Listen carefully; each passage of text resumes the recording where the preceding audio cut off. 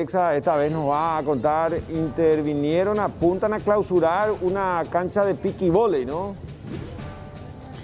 Una canchita que, por cierto, Roberto, ya está siendo desarmada en este preciso momento ante la denuncia realizada por vecinos aquí del barrio Kennedy de la ciudad de Capiatá. Este caso, ayer nos exponía nuestro compañero Natanael Cáceres porque se dio a conocer a través de videos que se viralizaron, donde se ve que eh, varias personas se agrupan aquí casi todos los días, dándose también la aglomeración, hecho que no está permitido ahora durante la cuarentena. Y la denuncia principalmente habla acerca de la construcción de esta canchita aquí en medio a lo que sería una calle vecinal. Si bien estamos estamos viendo que atrás pareciera ser que ya no hay salida. Esto es para hacer una calle. La municipalidad también ahora está interviniendo con la fiscalía para poder retirar todos los elementos que conforman esta canchita que tenemos entendido es responsable el vecino que vive aquí al lado del cual también se van a retirar del frente de su vivienda estas maderas que estarían invadiendo la calle. Vamos a hablar aquí con la fiscal Carolina Martínez, ya que su equipo es que está interviniendo para retirar los elementos de esta canchita sobre la determinación. Fiscal, ¿se pudo comprobar que evidentemente esto sería previo municipal? Sí, efectivamente se corroboró mediante un informe con la municipalidad de que se trata de una calle pública. Eh, se, se pudo corroborar también en este momento la construcción eh, del, local, eh, una cancha de piqui volei. También estamos corroborando la existencia de instalaciones eléctricas que aparentemente son clandestinas. Eh, estas circunstancias vamos a recabar todos los datos que estamos tomando aquí y determinar cuál sería la, calificación legal del, del, hecho punible. Ya se ha determinado desmantelar completamente y liberar esta zona de manera que las personas puedan eh, transitar libremente otra vez en este sitio y evitar que continúen los hechos punibles denunciados. Es espacio público, pero ¿es una calle o no, fiscal? Porque estamos viendo que ahí termina y atrás hay un montecito. Sí, es una calle, de acuerdo a la denominación establecida en la municipalidad, es una calle vecinal y es para hacer. Termina, termina en ese lugar, solo que se construyó y se cerró esta calle, por eso que no tiene la apariencia de, un lugar transitable. Justamente en eso consistió la denuncia, el cierre de esta. ¿Solo una persona sería la responsable, la que sería imputada, doctora? De momento tenemos solo un sindicado que es el, el encargado que construyó todo esto.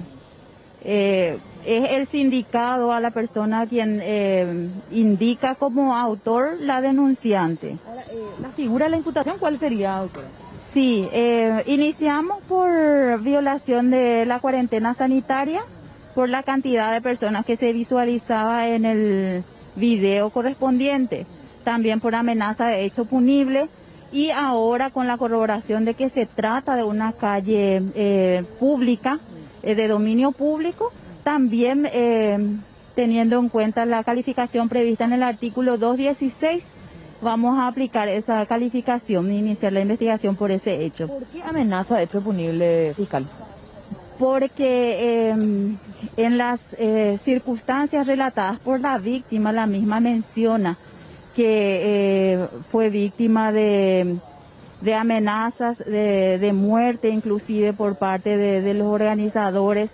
Eh, todas las veces que la misma intentaba ingresar a su domicilio se le obstaculizaba el paso. O sea que la persona que denunció esto, que grabó el momento en que se aglomeraban, terminó siendo amenazada por parte del responsable. Esa es la denuncia concreta, por eso amenaza de hecho punible. Bueno, eh, ahora, fiscal, con respecto al imputado, ¿sería Ariel Bogado su nombre? ¿Me confirma eso?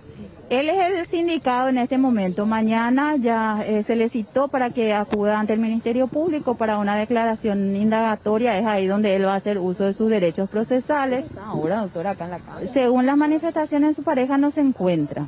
¿Estas maderas que estamos viendo frente a su vivienda es de él también? También le corresponde, sí, sí. Es de su pertenencia y en ese sentido ya ordené que en el término de 24 horas desaloje completamente dichos objetos bajo apercibimiento de ser incautado también. ¿Dónde llevan todos estos elementos de la canchita? Todo esto se lleva a la municipalidad.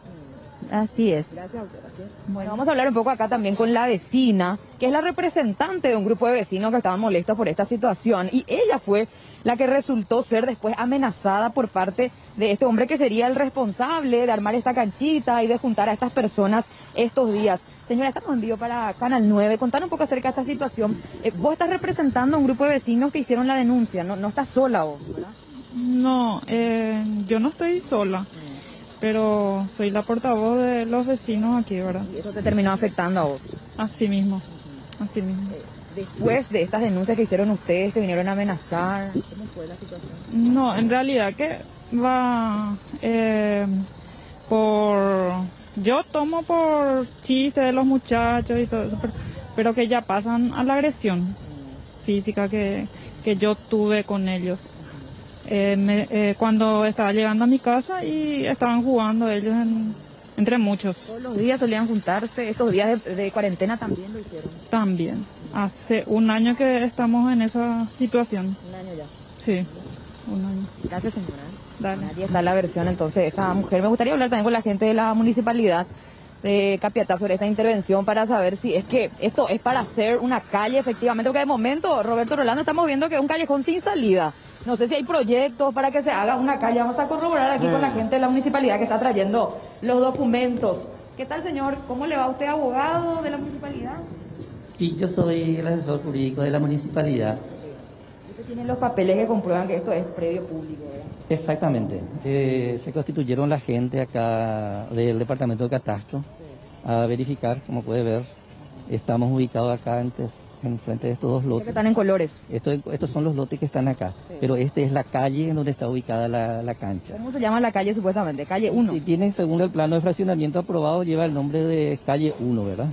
Eh, tiene salida, abogado? Y aparentemente está una propiedad ahí, es un callejón sin salida, ¿verdad? Pero eh, la denuncia que tenemos es que los vecinos, aparte de la aglomeración que causa por el juego, de volei, piqui volei, y ellos cuando se aglomera toda la gente ya no pueden estar en sus domicilios, no pueden entrar porque le cubre toda la... la, calle termina acá entonces.